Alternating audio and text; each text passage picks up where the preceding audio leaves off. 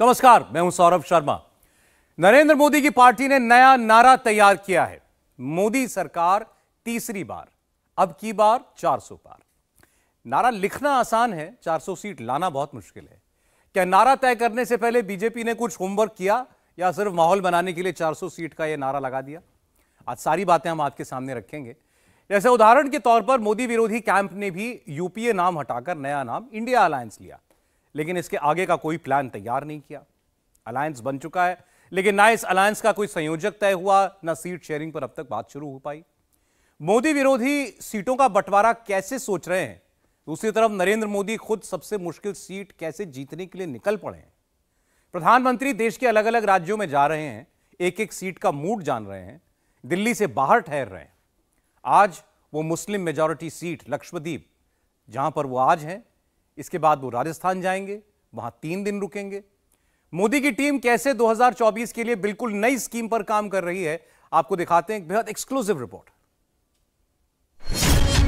क्या 24 में मोदी का जीतना अनिवार्य है? ब्रिटिश अखबार की यह हेडलाइन कि 24 में तीसरी बार मोदी का पीएम बनना लगभग तय है। क्या यह कोई संकेत है या इसके पीछे कोई खेल है? मोदी 2024 को टेकन फॉर ग्रांटेड नहीं ले रहे। खतरे को पहले ही भांप चुके हैं। ऐसा कौन सा खतरा है? इस खतरे से निपटने के लिए प्रधानमंत्री क्या कर रहे हैं? नए साल के पहले हफ़्ते में ही मोदी ने ऑन ग्राउंड सर्वे कर लिया है। किस राज्य से कितनी सीटें मिलने वाली हैं? मोदी का सर्वे क्या कहता है? इधर इंडी अलायंस वाले अभी जूम कॉल के स्क्रिप्ट ही लिख रहे हैं। एक जूम कॉल स्टालिन ने लीड की थी। दूसरी जूम कॉल में सारे इंडी अलायंस वाले फिर से जुड़ने वाले हैं। वो क्या करने वाले हैं? क्या फैसला लेने वाले हैं? विरोधी खेमे के उलट मोदी ने अपने किन पार्टनर्स के साथ 24 वाली डील साइन कर ली है? मोदी एक एक सीट की लड़ाई लड़ने वाले हैं। बीजेपी जहाँ जहाँ ज़ीरो है, मोदी वहाँ वहाँ बीजेपी को विनर कैसे बनाने वाले हैं? नए साल के दूसरे दिन मोदी के इस ट्वीट में 24 की जीत का बहुत बड़ा हिंट छिपा है। शब्दों पर गौर कीजिए। Number one my first public programme of 2024 number two great state of Tamil Nadu और नंबर थ्री अमंग आर युवा शक्ति मोदी के इन पंद्रह शब्दों में 2024 में 15 करोड़ फ़र्स्ट टाइम वोटर्स को कौन सा हिडन मैसेज भेजा गया है? मोदी ने ग्रेट स्टेट ऑफ़ तमिलनाडु कहकर दक्षिण भारत की 130 लोकसभा सीटों को ही सबसे पहले क्यों टारगेट किया? इसका जवाब यह है कि मोदी सबसे पहले उन लोकेशंस का सॉल्यूशन ढूंढ रहे हैं जहाँ उनकी पार्टी या तो ज़ीरो है या फिर चुनावी रेस में ही नहीं है, यानी साउथ इंडिया।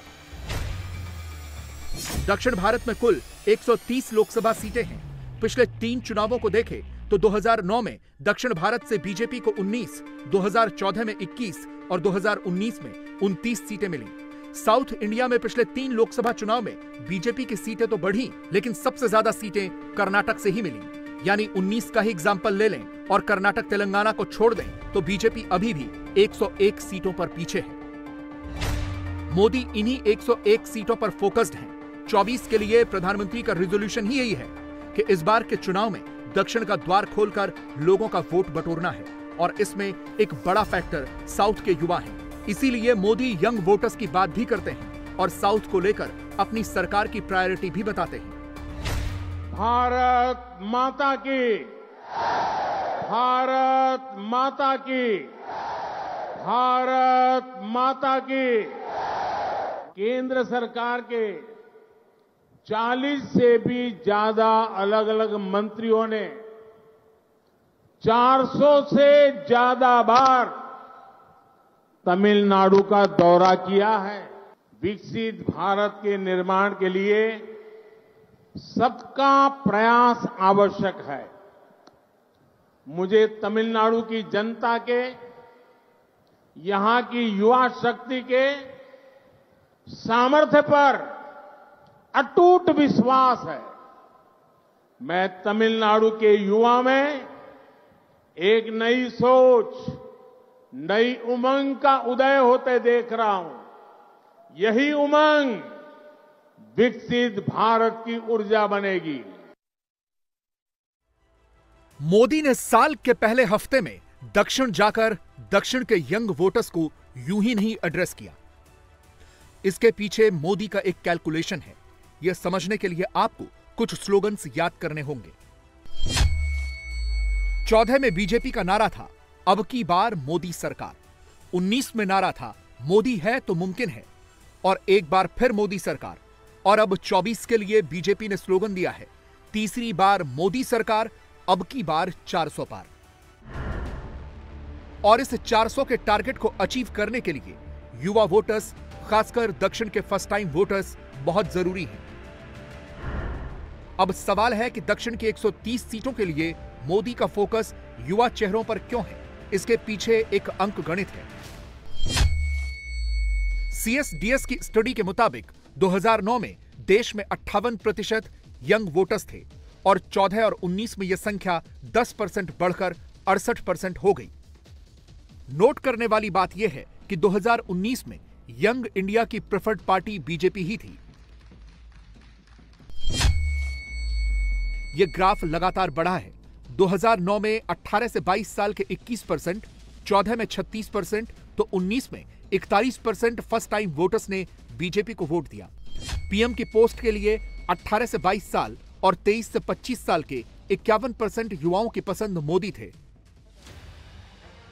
अब आप खुद सोचिए 2019 में जो फ़र्स्ट टाइम वोटर्स 8 करोड़ थे 24 में वही वोटर्स करीब 15 करोड़ होंगे। तो इसका मोदी को कितना फ़ायदा मिलेगा? इसका एक हिंट दक्षिण के राज्यों से मिलने लगा है। यह तस्वीर उस वक्त की है, जब तमिलनाडु में मोदी की स्पीच से ठीक पहले स्टालिन ने बोलना शुरू किया और वहाँ बैठे युवाओं ने मोदी मोदी का नारा लगाना शुरू कर दिया। प्रधानमंत्री को खुद उन्हें शांत रहने को कहना पड़ा।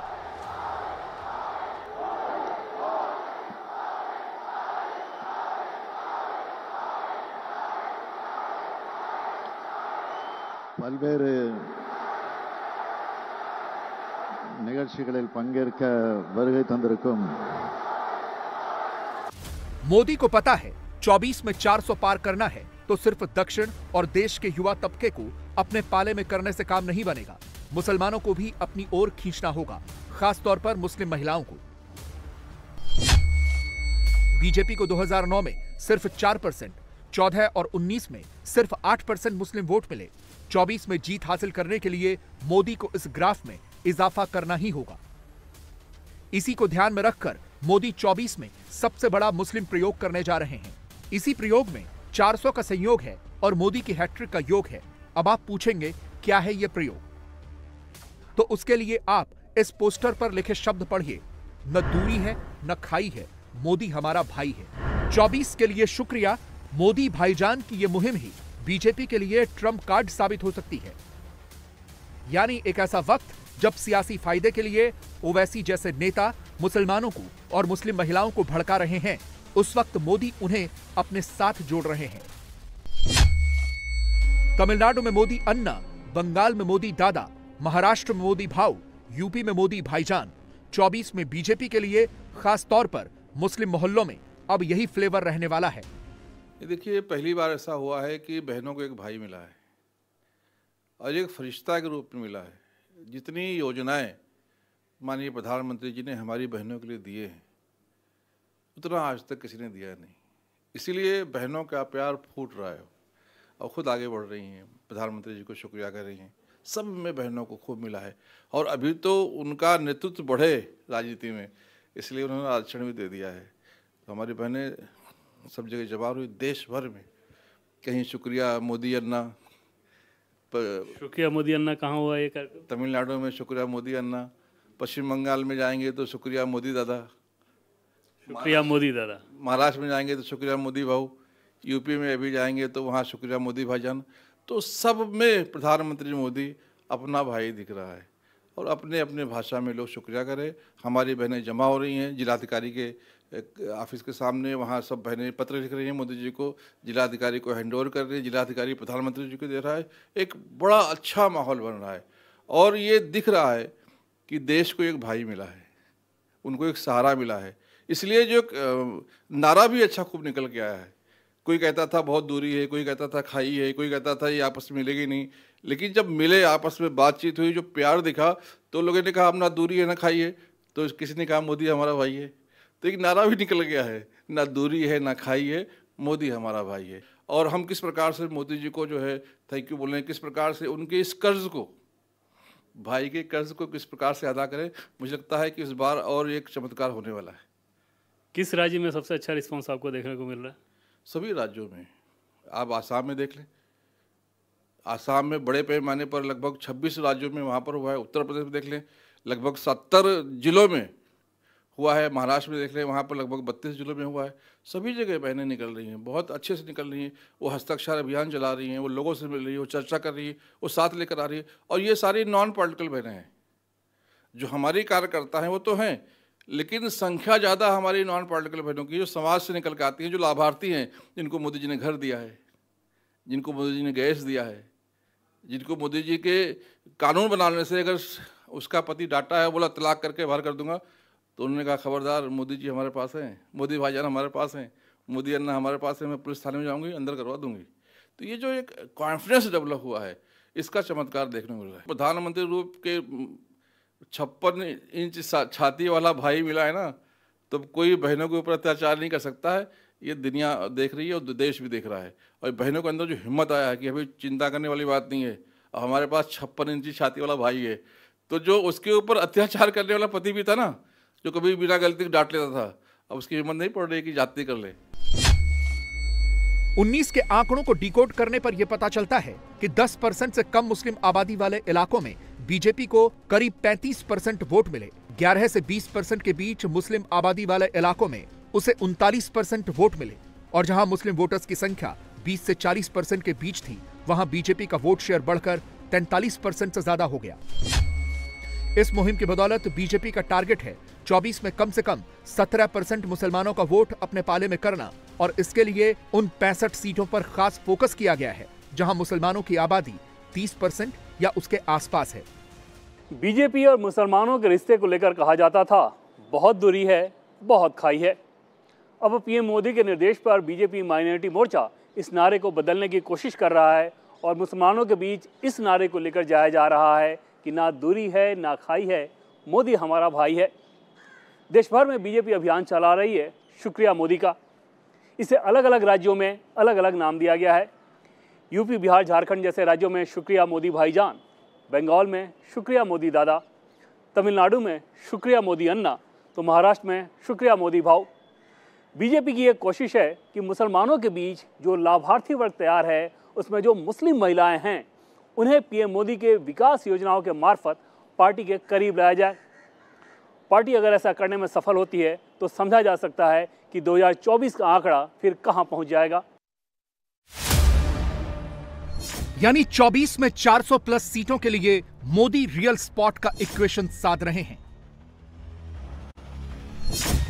और विरोधी अभी भी वर्चुअल वर्ल्ड में ही मिलने का प्लान बना रहे हैं। नीतीश और इंडी अलायंस के बड़े नेता बुधवार को जूम कॉल पर जुड़ेंगे। कांग्रेस की तेजस्वी से अखिलेश से शरद पवार से उद्धव ठाकरे से सबसे बात हो चुकी है। नीतीश को अलायंस का संयोजक बनाने की माथापच्ची चल रही है।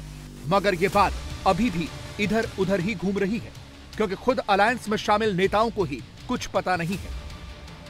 क्या चर्चाएँ हैं और वाकई क्या कांग्रेस इस बात पर सहमत है? दूसरे दलों के साथ के नीतीश जी ही कन्वीनर होंगे। मेरा ख्याल है कि अभी ऐसा कुछ फाइनल डिसीज़न तो नहीं हुआ है। लेकिन जहाँ तक के नीतीश जी का सवाल है, उनकी उपयोगिता तो है, इससे कोई इनकार नहीं कर सकता। और इंडिया गठबंधन को बनाने में उनकी उनकी कोशिश रही है, शुरू से रही है, उन्होंने इसमें पहल की है। तो आगे आने वाले दिनों में उनकी उपयोगिता तो रहेगी। नीतीश जी ने तो हमेशा इस बात का खंडन किया है कि वो प्रधानमंत्री के उम्मीदवार नहीं है और न किसी पद के उम्मीदवार है। तो वो ये ज़रूर चाहते हैं कि इंडिया गठबंधन मज़बूत हो। मोदी विरोधी गुट में कंफ्यूजन के बीच अभी तक सीट शेयरिंग का कोई कॉन्क्रीट फॉर्मूला भी सामने नहीं आया है। हाँ कांग्रेस ने उन सीटों को लेकर अपने पार्टनर्स पर प्रेशर टैक्टिक क्रिएट करनी शुरू कर दी है, जहाँ उसे लगता है कि वो 24 में जीत सकती है। मसलन यूपी में ऐसी 10 से ज़्यादा सीटें हैं, जिनमें अमेठी, रायबरेली और वाराणसी की हाई प्रोफ़ाइल सीटें शामिल हैं। इसके अलावा बंगाल में छह सीटें, बिहार में नौ से ज़्यादा सीटें, महाराष्ट्र में 20 से ज़्यादा सीटें, दिल्ली में तीन से ज़्यादा, झारखंड में नौ सीटों पर कांग्रेस अपना हिसाब किताब लगा चुकी है। लेकिन ये कांग्रेस का कैलकुलेशन है। इंडी अलायंस के दूसरे पार्टनर्स कांग्रेस के फॉर्मूले को स्वीकार करेंगे या नहीं, कहना मुश्किल है। क्योंकि रिपोर्ट्स के मुताबिक 29 दिसंबर की मीटिंग में अखिलेश की पार्टी ने यूपी की चंदौली सीट टीएमसी को देने का फैसला कर लिया है, यानी कांग्रेस से खिटपिट तय है। बंगाल में सीट शेयरिंग होने से रही, क्योंकि ममता पहले ही कह चुकी हैं कि वो बंगाल में इंडी अलायंस को लीड करेंगी। अब तो ऐसी खबरें भी आ रही हैं कि अखिलेश, केजरीवाल, उद्धव और ममता बनर्जी के साथ मिलकर कांग्रेस पर दबाव बनाए रखने की स्ट्रैटेजी बनाई गई है। यानी मोदी को हराने का ख्वाब देखने वाला गुट कैमरे पर भले ही साथ दिख रहा हो, लेकिन कैमरे के पीछे उठापटक शुरू हो चुकी है। संजय राउत कुछ कह रहे हैं। आम आदमी पार्टी कुछ और कह रही है। कांग्रेस किसी और ही लाइन पर चल रही है। अखिलेश मोदी को हराने वाला सुनहरा ख्वाब देख रहे हैं। देखिए, महाराष्ट्र में कांग्रेस, एनसीपी और शिवसेना, महाविकास आघाड़ी, किसी को कोई चिंता करने की ज़रूरत नहीं है। सब कुछ ठीक हो जाएगा। तीन ही पार्टी में बहुत संयम है, कोई तनाव नहीं है और एकदम आराम से सीट शेयरिंग हो जाएगा, चर्चा चल रही है। देश में तानाशाही डिक्टेटरशिप का खात्मा करने के लिए हम ज़रूर त्याग करेंगे। जो छोटी छोटी बातें, इनसे ऊपर उठने की ज़रूरत है। जब आप एक अलायंस का हिस्सा बनेंगे तो हम इन सब छोटी छोटी चीज़ों को भूल कर जो है देश को बचाने के लिए, देश के अंदर जो वोट डाल के जो सरकार बनती है सिस्टम को बचाने के लिए, देश के अंदर इस प्रजातंत्र को बचाने के लिए हमको साथ आना पड़ेगा। तो इन सब छोटे छोटे जो अपने विवादों को है, उनको भूलने की ज़रूरत है। मोटे तौर पे इंडिया गठबंधन को अपने कामों में तेज़ी लाने की ज़रूरत तो है। चाहे वो नैरेटिव से संबंधित हो, आपकी सोशल मीडिया मीडिया स्ट्रेटजी से संबंधित हो आपकी सीट शेयरिंग से संबंधित हो, इनके ऊपर जल्दी काम करने की ज़रूरत है, तेज़ी से काम करने की ज़रूरत है। देखिए, आम आदमी पार्टी की दिक्कत क्या है कि उनके पास जो एक सामान्य सार्वजनिक पटल पर एक किस तरीके से बातचीत करनी चाहिए, किस तरीके से औरों से व्यवहार करना चाहिए, उसकी कोई सीख नहीं है। और ये इनका पुराना रहा है, क्योंकि हम तो इस बात को सस्पेक्ट करते हैं कि अभी तक दिक्कत क्या थी ना, पिछले सात आठ साल में तो वो भारतीय जनता पार्टी की बी टीम की तरह काम कर रहे थे। अब हो सकता है उनको लग रहा हो कि भारतीय जनता पार्टी को उनकी ज़रूरत नहीं है, इसलिए वो इंडिया अलायंस की तरफ़ देख रहे हैं। और ठीक है, इंडिया अलायंस के कुछ लोगों ने कहा कि भाई इनको भी इंक्लूड कर लीजिए, भले ही छोटी पार्टी हो, एक आध राज्य में हो, लेकिन इनको इंक्लूड करने की एक बात चल रही है। अब ये इस बात को मुझे नहीं लगता हजम कर पाते हैं तो इसलिए दिक्कत होती है, क्योंकि इनको जो बड़े गठबंधन में आने की जो एक तौर तरीके होते हैं, उसका एक कल्चर होता है, उसकी इनको समझ नहीं है। मैं इनसे कहूँगा कि भाई आप एक बड़े गठबंधन में साथ आए हैं, कुछ सद्बुद्धि रखिए अपने मन में। ठीक है? और ये जो उल जलूल बनान है बयान है ये आप बोलना बंद करिए। इस नए साल में आपको बदलाव भी दिखाई देगा। 24 बदलाव का साल है और जो लोग 2014 में आए थे वो 2024 में चले जाएँगे। विरोधी खेमे की तूतू मैमे के उलट मोदी पूरब पश्चिम उत्तर दक्षिण सबका प्लान रेडी किए बैठे हैं। युवाओं और मुस्लिम महिलाओं पर प्रधानमंत्री की पार्टी का खास फोकस है। रही बात हिंदू वोट बैंक की तो रामलला की प्राण प्रतिष्ठा बीजेपी के लिए एडेड एडवांटेज है। विपक्ष राम मंदिर के खिलाफ anti Modi, anti BJP narrative परोसकर अपना भारी नुकसान कर रहा है और बीजेपी ऐसे विवादित बयानों को भी घर घर लेकर जा रही है। ये भगवान का कार्यक्रम है और भगवान से बड़े मुख्यमंत्री नहीं हो सकते। भगवान से बड़े कोई भी नहीं हो सकता, हम भी नहीं, आप भी नहीं, ना मुख्यमंत्री जी। और भगवान जिसको बुलाएँगे, वो अपने आप दौड़ा चला जाएगा। और ये भी सही है कि भगवान किसको कब बुला ले, ये भी किसी को नहीं पता। इतना करीब भगवान के हैं वो लोग तो क्या उन्हें तारीख पता है? और अगर ये बातें मुख्यमंत्री जी कह रहे हैं तो इसका मतलब ये साबित कर रहे हैं कि भारतीय जनता पार्टी सूची बना रही है? कौन अतिथि होगा कौन आएगा कौन नहीं आएगा? ये भगवान का कार्यक्रम है भगवान श्री राम का कार्यक्रम है। उसमें इन लोगों को ज़्यादा हस्तक्षेप नहीं करना चाहिए। भगवान जिसको बुलाएँगे वो जाएँगे। भगवान बुलाएँगे तो जाएँगे और भगवान जब तुम्हारा बुलावा बुला लेंगे तब तुम क्या रुक पाओगे? कोई समाज उनके साथ नहीं है जिस तरीके से इन लोगों के इन लोगों को लोगों ने देखा है। और खासकर जब से इंडिया महागठबंधन की आगाज़ हुआ है, पूरे देश में लाखों करोड़ों लोग इंडिया महागठबंधन का साथ देने के लिए बढ़ चढ़ के हिस्सा ले रही है। और कोई भी यात्रा ही निकाले, पहले तो राम को आगे करके ये लोग यात्रा निकालते हैं। अब लौकुश उनके बेट, जो राम जी के जो पुत्र हैं, उनको लेकर के यात्रा निकाले। और पिछले बार भी चुनाव जो हुआ था, जिसमें उनकी बुरी तरीके से हार हुई थी, जो हनुमान जी का जो गदा लेकर के जो चले थे वही गदा उनको लगा था। तो ऐसा ना कि राम और राम जी के जो बेटे हैं लव और कुश जो। दो उनके पुत्र थे। ऐसा ना कि उनका तीर धनुष उन्हीं को लग जाए। तो इन इन लोगों से और देश के लोग देख रहे हैं कि किस तरीके से ये लोग देश को इन लोगों ने पल पल तोड़ने का काम किया है। तो अब जो जनता है इनके झांसे में आने वाली नहीं। एकता और एकात्मता के लिए कार्य करेंगे, जो लोग फूट डालने का काम कर रहे हैं जाति जाति के नाम पे भिड़ाने का काम कर रहे हैं, समाज में विद्वेष पैदा करने का काम कर रहे हैं, गरीबों के हकों पे जो लोग डकैती डालते थे, आज उनको जाति नज़र आती है। आज वे विभाजन के नाम पर तमाम प्रकार से अन्य समाज में खाई को चौड़ा करने का प्रयास कर रहे हैं। ऐसे लोगों से सावधान रहते हुए हम समाज की एकता के माध्यम से राष्ट्र के सशक्तिकरण के लिए कार्य करेंगे। विरोधी खेमा कंफ्यूज्ड है। मोदी 24 को लेकर पूरी तरह से श्योर हैं। हिमाचल, उत्तराखंड, छत्तीसगढ़, राजस्थान, गुजरात, मध्य प्रदेश और कर्नाटक जैसे सात राज्यों में बीजेपी कांग्रेस की सीधी फाइट है। मगर यहाँ बीजेपी को ही अपर हैंड है। 2019 में कांग्रेस ने इन राज्यों की 128 लोकसभा सीटों में से सिर्फ़ चार सीटें जीती थी। करंट सिचुएशन को देखें तो 2024 में बीजेपी को अभी से 160 सीटों पर एज है।